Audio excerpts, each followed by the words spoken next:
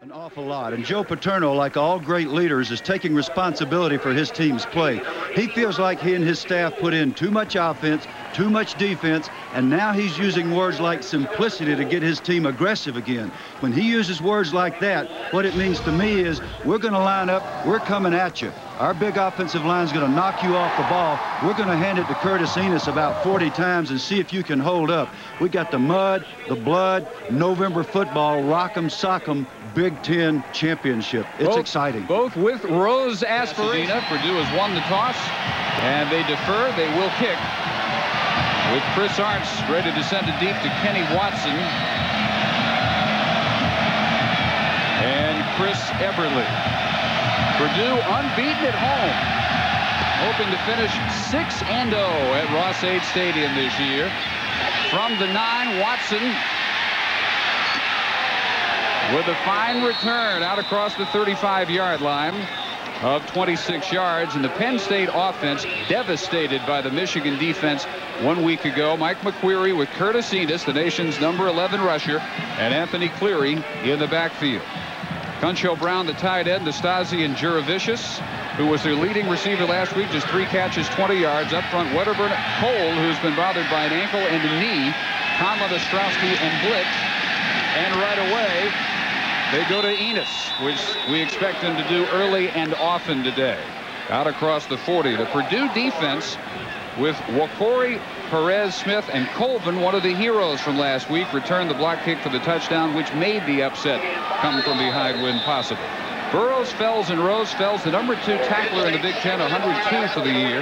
And the secondary with Hawthorne, Beasley, Brush, who was their second leading tackler.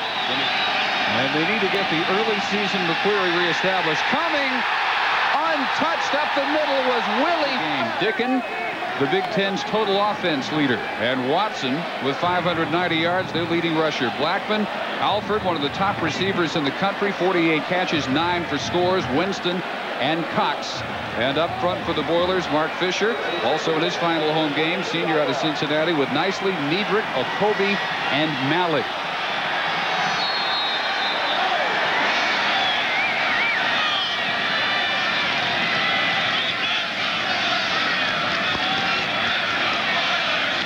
And Dicken, a very long count. As he finally gets it off to Sutherland with a blocker out front. Guided out at the four. Vinny Sutherland, Bill, with 4-3 speed. One of the more exciting true freshmen anywhere in college football.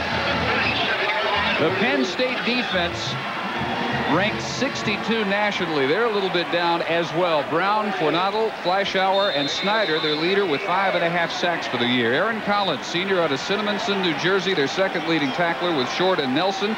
Good group of linebackers, the strength of the D. Prater, Macklin, Lee with a couple of interceptions, an active free safety, and Collins at the other safety. Play fake to Watson, and Dicken, not a bad runner when the situation calls for it. This time from the shotgun. Another play fake. And they get it out to Donald Winston, who fooled Shino Prater, not at the bottom of your picture. Hasn't looked his way yet. Dicken again suddenly short. Here's Watson, a fine pass catcher out of the backfield, and he is dragged at the 10. As Rogers hangs it high and too deep this time. 7 and 1, the number 6 team in the country. McQueary with a give to Enis, who gets loose around the right side. Backers all in their first year at those respective positions.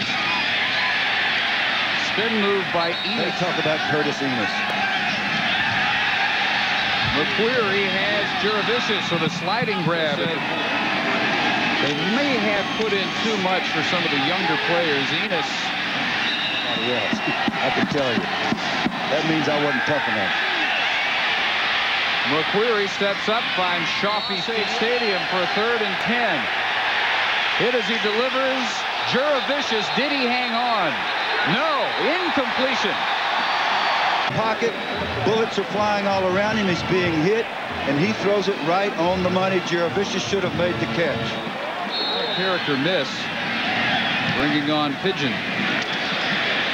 Sutherland will let this one get inside the five.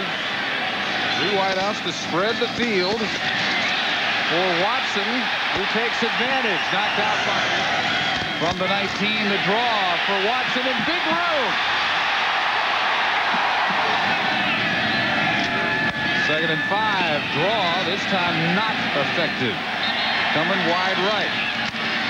Picking over the middle, the third catch on the drive by Blackmon.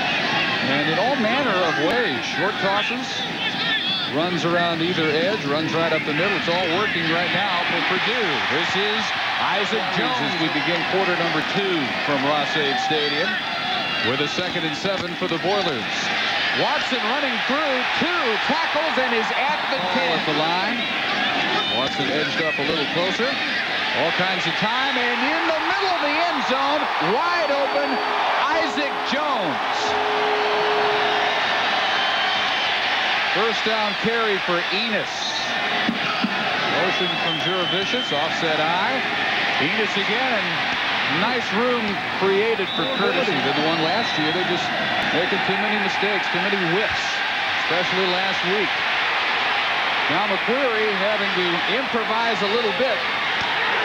And he is now Chafie Fields. And Enis getting away from the hit in the backfield, breaks another couple of tackles. Boy, one of the Enis, number 11, never had the handle. It is loose, and it's recovered at the 41 by Leo Perez for the Boilermakers. And the Penn State line adjusting now. They've got eight stacked right up front. Watson running right through them. Backing his way. The giveaway takeaway ratio, which is way below Penn State standard. Watson and one man made on those first 15. Watson. They give to Watson.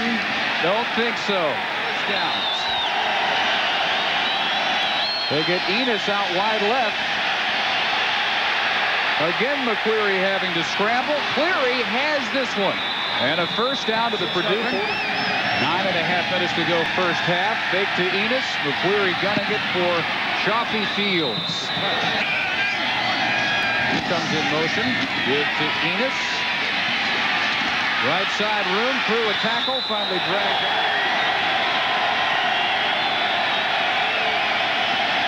McQueary hanging it up for Fields in the end zone, the catch, and we're tied. War with Henry Bell here. And it's just a matter of who can keep their footing and have the hand-eye coordination to 7.08 to go in the first half. Run defense ranked in the bottom half of the country, 60th this week. Isaac Jones getting loose.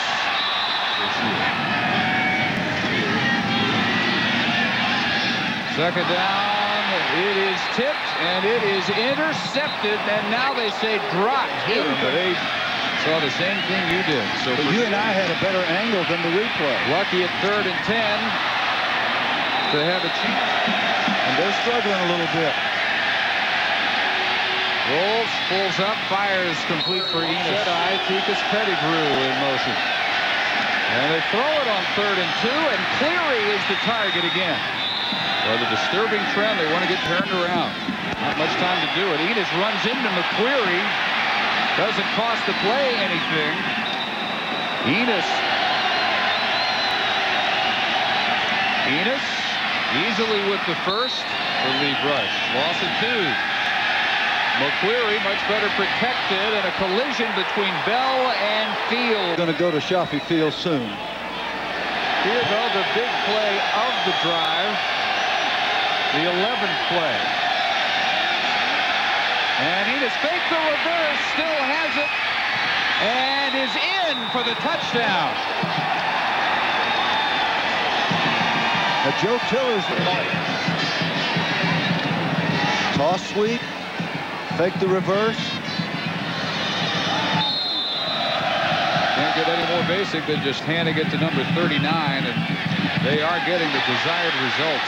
And muffed it, and dropped it again. After he was hit by Derek Fox at the has missed five of his last six. This one deep for Winston, double coverage. Winston with the catch at the 20.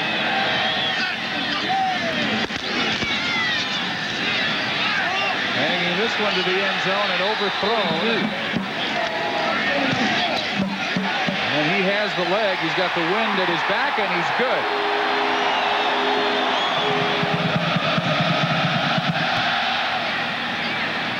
Lawrence bounces this one.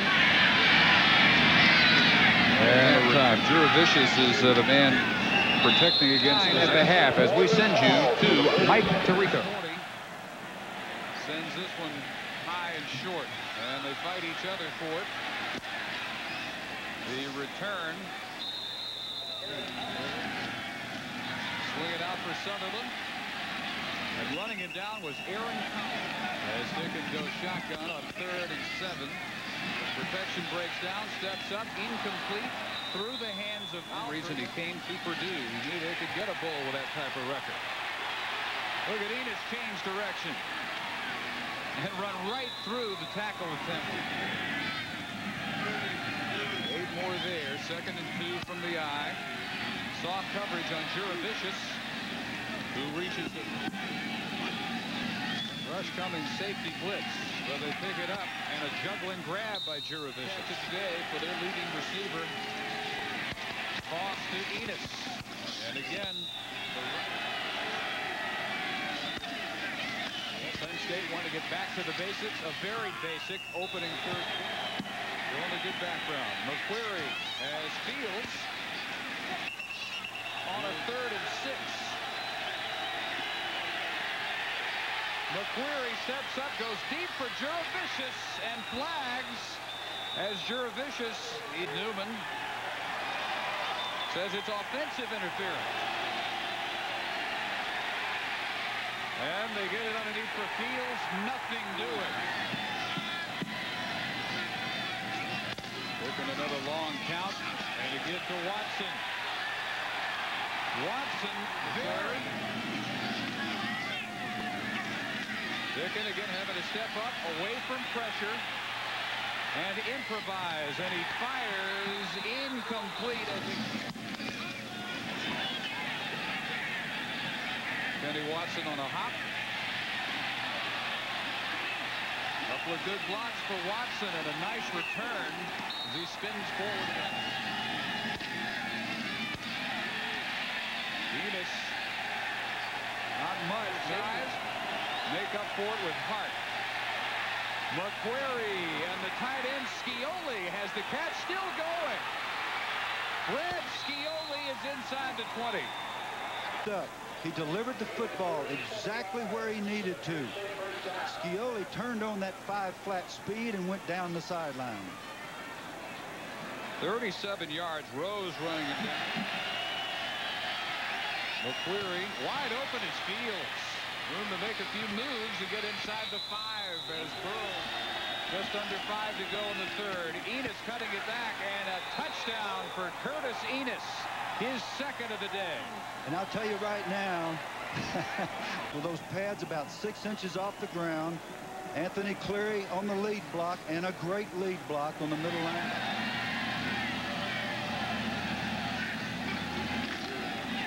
first and seven. Look at the room for Watson. Alford, a huge block, and again on third and ten. Across the middle, Winston. Purdue did not make the required four yards. Batted away by Courtney Brown. It now was a forward pass. To the first down efficiency thing. If you make four or more yards, that puts you obviously in second. Yeah, Dickens.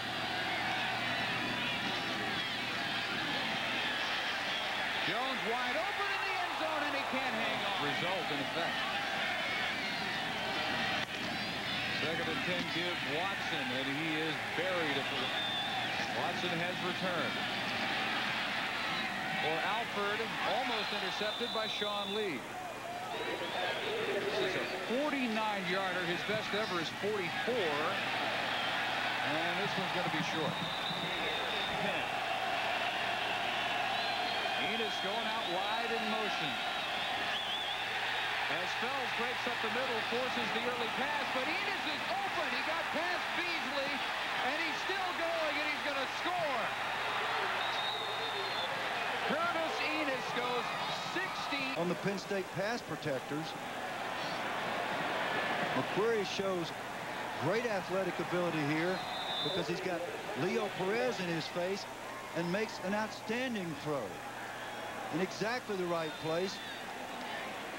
We noted the mistake by Sean Lee, the free safety.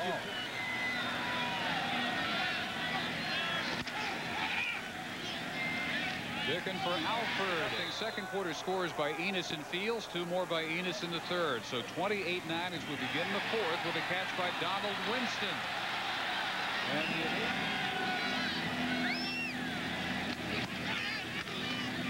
Third and seven and a catch by Gabe Cox. First and 10 over the middle. This time Jones and Jones has been Dicken, great protection, but he throws it right into the arms of Daniels. And now they say he didn't hang on. Guy, Maurice would love to have another chance at this, but he got so excited he batted it down. His teammates in the film sessions on Monday or Tuesday were telling his hands belong on quite on that one. So second and 10. Swing it for a head and he brings it in. What an amazing, impressive march to first and goal. To the end zone, caught, touchdown, Gabe Cox. Looking with trips right, and now Haddad, the only man left. Fires it, and again caught Jones for Enis. Stays short this time and has the catch and has the first down for Penn State, who again starts in motion wide right now. Stumbling a bit as he drops back. Can't get it off. Burrows who limped off. Good punt into this big uh, breeze by Pigeon, and here's Sutherland. One of the fastest men in the state of Florida. Incomplete to guard respectively. Got the blocks. Alford inside the 20. Two on the play clock. Just in time. The snap. Intercepted. Jason Collins has only Dicken to beat. And Dicken drives him out at the 39-yard line. A 52-yard return of the interception by Jason. There has been no bigger play than this in this game. And maybe now we know why Jason is called a hero. First interception. It helps lead to a victory by the Lions. Enis. And you don't want your managers providing the bulletin board material. Enis, left tackle. Enis, another touchdown. Now, as great a day as Enis has had, he didn't do that one by himself. That was a tackler in all cases. Good job by Brad Scioli. Curtis Enis for his touchdown and perhaps his career game. Both teams with two timeouts left. Isaac Jones couldn't quite get away from next week to Ohio State, but they can still get there as well. Dicken is sacked for the just the second time today. And it's Courtney Brown who gets to. Fourth and 15. Might have been tipped as soon as it left his hand.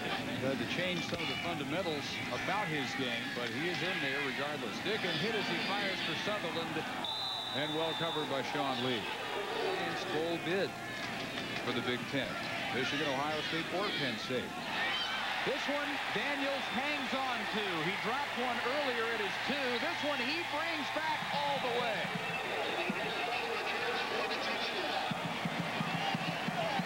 As the now Maurice Daniels had a little practice, so he got his hands warmed up, and this time he still tips it up in the air, but he managed to keep it in play. Then he comes down with it and takes it in the end zone. Play-by-play -play guy. broadcast debut. Joe Tiller was the defensive coordinator that day for Purdue as Jones was Everett's 35 against Ohio State 85. And he's a couple away from that too. And there's one of them, Alford. Coughed it up though at the 35. And the return of the fumble up the left side for Ascari and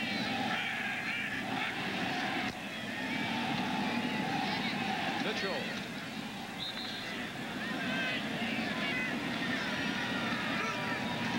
So on a fourth and nine, that run by Kenny Watson to end the game. Our Kelly Springfield players of the game in the 42-17 victory for Joe Paterno. Curtis Enis, 186 rushing, 83 receiving, four touchdowns for Penn State. Billy Dicken, 33 of 60, 348 yards, two scores, and two picks for Purdue. Kelly Springfield proud to donate $1,000 to each school's general scholarship fund on behalf of these athletes. 8 and 1, 5 and 1 in the conference for Penn State. Now for Bill Curry and Dave Ryan, I'm Dave Barnett. This has been a presentation of ESPN, the worldwide leader in sports. Now stay tuned. The Residence Inn College Football Scoreboard Show is next.